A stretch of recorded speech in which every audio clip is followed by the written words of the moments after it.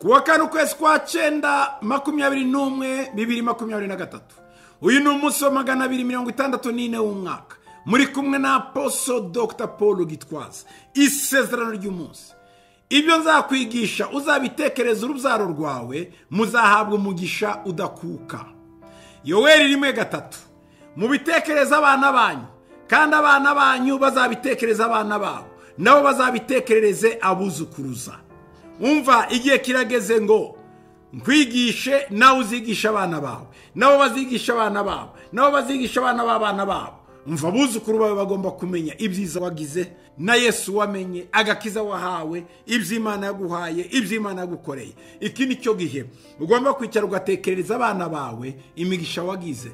Aho imana yagukuye uko yagutabaye uko yakurinze uko yakurwaniriye aho yakugejeje naho uri uyu munsi. Umva.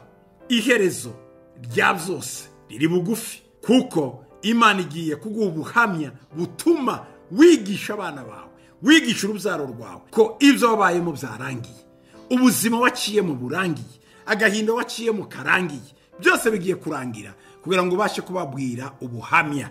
Nabo bazabuha abandi nawe wabuha abandi nawe wabuha abandi habe uruhererekane rw'ubuhamya mu nzu yawe. Mana ndagushima ko tutazabyihererana nawe atazabyihererana ahubwo azabitekereza abana be n'abana be bakabitekerereza abana babo nabo bakazabitekerereza abuzukuruza. Ndagushima ko ari cyo gihe wahisemo mwene data agomba kugera mu rundi rwego rwo guhana inkuru nziza n'ubuhamya bwiza mu muryango we mu bana be muri bene wabo. Aho azaca hose abantu bazamenya kuri imana. Urakoze mwami yesu mu izina ryawe. Amen.